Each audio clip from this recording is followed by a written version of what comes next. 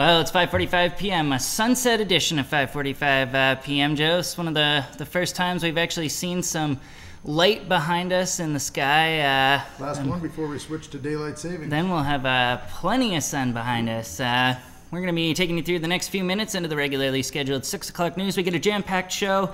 Uh, folks, uh, be sure to stick with us here uh, for an internet special. We're going to be uh, taking this a little bit farther, a little bit more information for you. And uh, we're going to make sure that uh, if you can join us on our Facebook page uh, or at brattleboro.tv.org, that we get you more information. What do we got coming up? Well, we're going to talk a lot about Election Day, town meeting, election results, all sorts of stuff like that. Skate park gets an okay from the WSESU school board moving ahead, and of course, it's the anniversary of Fukushima. We'll talk about what's going on in this area to commemorate that. Lots of other footage, including last night's VTrans meeting, uh, David Sanger, and plenty more. So stick with us right here on 545 Live.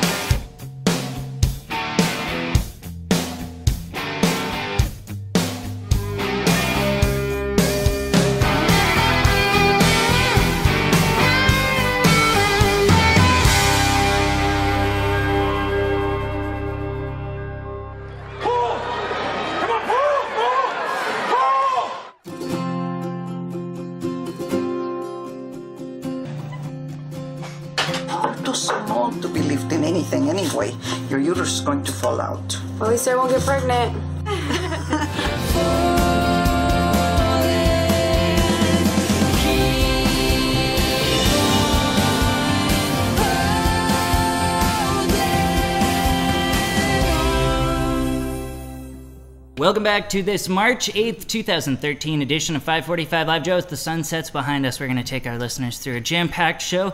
Got some fun clips and some somber clips as well. We'll talk about all that coming up, but first, uh, that's footage uh, of the film All She Can.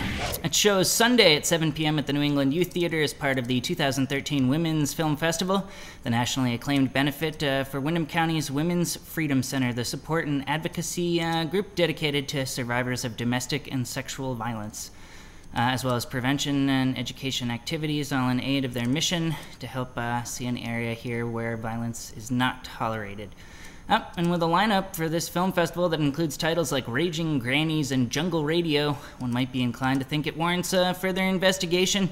So, uh, if you are so inclined, the full film lineup trailers and info on the Freedom Center, which includes details uh, also on the many ways you can get help for you or your loved ones, is all at womensfreedomcenter.net. No apostrophe in that. And Joe, uh, you don't have to be ensconced in the midst of a uh, abusive relationship to uh, look for help. There's residual effects, whether it be it you or uh, someone you care about.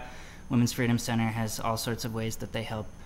Uh, we'll move on here, and with that, uh, we'll talk about all this past Tuesday's uh, happenings. Moderation is a lot like medicine. In addition to being election day, March 5th was, of course, town meeting day. It is not an exact science.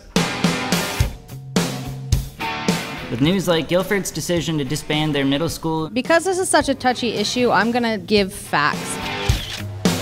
and Putney's move to adopt a full-time law enforcement officer, The First three years were paid for on a federal grant. The current year, the Putney paid the, the match amount. joining visits from Governor Shumlin and all sorts of other Windham County legislators in the headlines. Are we smart, considering Vermont Yankee, in taking a state that's cheap to litigate, that has to repay legal expenses, and that has already made the decision on this question?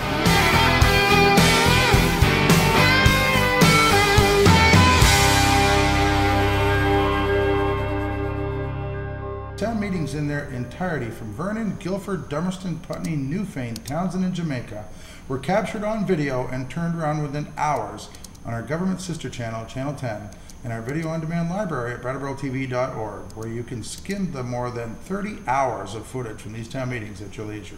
There you go. Some good. Uh, brattleboro.tv.org. why not throw some uh, election results in there first? Uh, little clip there? I want to cut to it here. You were up at the high school with uh, your often were live co-captain with our partner in Daryl. Pillsbury. Yeah, let's uh, let's take a look at some of the results from Tuesday night's uh, races. Moderator Doug Cox, 761. Lawrin Crispe, 779. for the three-year seat, which will be Kate O'Connor one with a total of 985, and Spoon Agave had 664. Now, for the select board one-year seats, we have John Allen, the winner, with 710 votes, and then we have David Schoales with 580, and it was very close after that with Ian Keel with 564.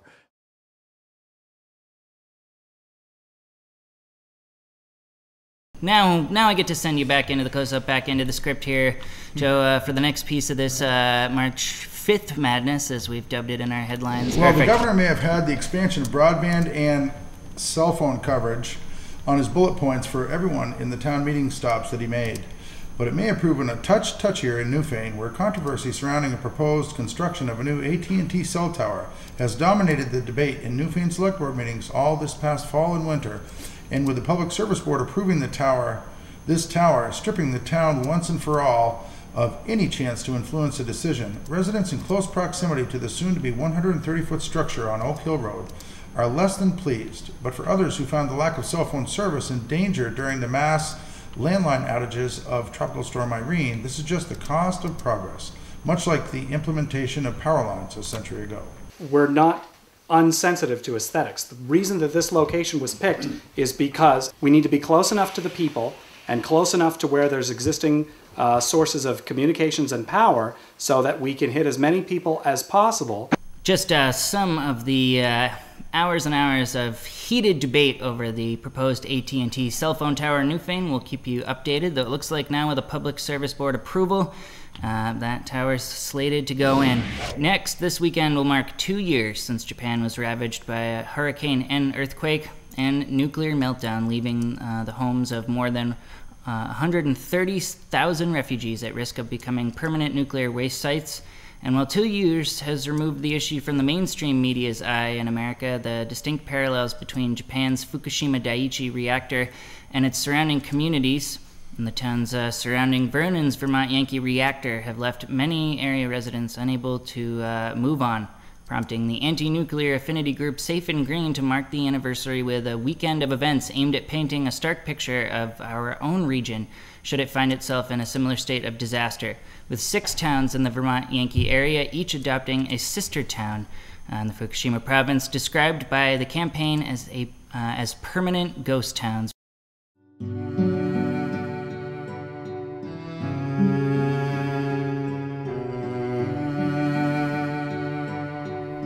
One hundred and sixty thousand refugees after the tsunami earthquake and the beginning of the meltdowns.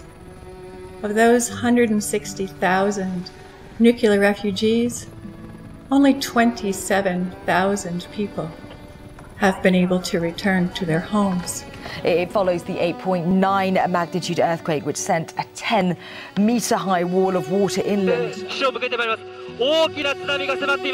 岸を向けてまいります大きな津波が迫っていますえー間もなく壁あ捉えました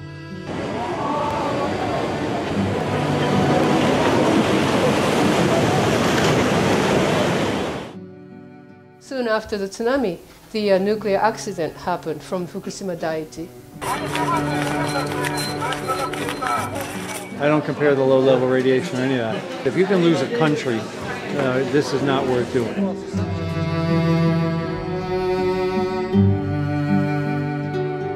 So we started reading about these towns in the evacuation zone around Fukushima.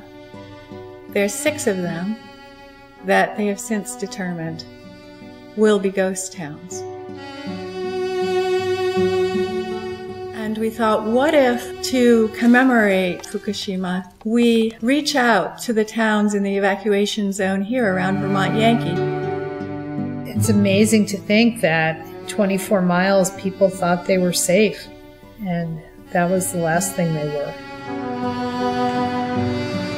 Everybody has a stake in this un- unfolding, ongoing situation. That's sort of the sense of urgency that I feel about this um, nuclear accident. The weekend's events, dubbed Voices of Fukushima, include Saturday gatherings at Brattleboro, at, in, in Brattleboro at Pliny Park, at 1 p.m., and in Putney on the Tavern Green from 1 to 3 p.m., and in the towns of Greenfield, Amherst, and Wendell, Mass., followed by a Sunday vigil at noon at Vermont Yankees Vernon Reactor. The complete schedule can be found at safeandgreencampaign.org. You can also find the full interview with Leslie Sullivan Sachs and Nancy Braus on our YouTube channel. All right, uh, we'll move on and talk about uh, one of the, the buzz stories here. Of course, uh, Basic seems to uh, make headlines all the time. Uh, I'll take this next one here. Uh, with approval from the Select Board and Development Review Board coming earlier this year, Wednesday's Windham Southeast Supervisory School District Board four to nothing vote to approve the Brattleboro Area Skate Park uh, is the last piece needed for the group basic uh, to move ahead, at least uh, the uh, last bureaucratic piece, um, to move ahead with construction of the highly, I guess you could even say outrageously controversial skate park slated to reside in the Crowell lot of Green Street in Brattleboro. Now, at Wednesday's school board meeting, the park's designer Mike McIntyre, uh, the guru behind skate parks across the nation, or wheel friendly parks as he calls them, uh, talked about Brattleboro's own plans for uh, the park, something he says uh, are about much, much more than skateboarding. Uh. Crime, prevent- oh, crime prevention through environmental design, and other issues some people may not like someone can run out of the car and grab a kid. Some people may not like a ball rolling into the street. Absolutely nothing standing in the way of that skate park now, except, oh, uh, except a few quarters in the bucket. A little bit of money. Yeah, so uh, now, uh, if they can. Skatepark.com for anyone that wants more information. There you go. Uh, they've got uh, $300,000 to go. Put this uh, park in place. Next, once forced to reschedule, the New York Times chief Washington correspondent David Sanger has managed to make it to the Brooks Memorial Library for his talk aimed at unveiling the inner workings of the Obama administration and the use of new weapons and weapon technology. And with drones now a blizzard, or excuse me, now a buzzword nationwide, David Sanger says it's easy to get caught up in the hype. But there are far more complex and often far scarier matters lying just below the surface. President Bush urged President Obama to hold on to probably the most covert covert program at the time, sneaking into the Iranian nuclear facilities with an entirely new weapon of war, a computer worm that had never been tried any other place. Next, the Vermont Agency of Transportation was on hand last night to conduct what they refer to as a 502 hearing for the proposed plan to redesign uh, Putney Road. The formal hearing, held on the Select Board room, consisted of an open forum in which citizens were able to address members of VTrans with questions and concerns, and then a presentation of the preliminary design concept of the project, which has been years in the works. No significant environmental impacts are anticipated for this project and for this reason, VTrans anticipates recommending to the Federal Highway Administration that this project, project is to be classed as a categorical exclusion. Well, Joe, we've lost just about all the light behind us, so we better wrap this up. Uh, but I want to talk okay. about the weekend's weather first, courtesy of BUHS TV, the high school's morning news advisory program here in Brattleboro. Let's uh, see what they have to say. Tomorrow, it will be really sunny, 0% precipitation with a high of 47 and a low of 24. And then Finally, on Sunday, we're going to have a high of 47, low of 34, 20% precipitation.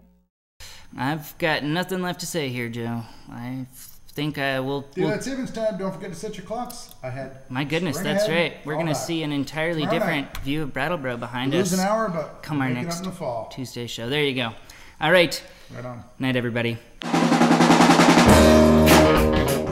Now, for 545 Live, this is Dale Pillsbury along with my cameraman Joe Bushy. Back to the studio and rolling. Please check the Safe and Green website. We have we have a dynamic website that I think will. it's my baby. It's Leslie's baby. Uh,